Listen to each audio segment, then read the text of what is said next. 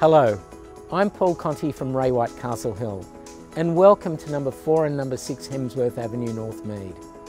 Both properties sit within Parramatta City Council and each of the properties are 607 square metres and hold the potential, subject to council approval, to be potential duplex sites.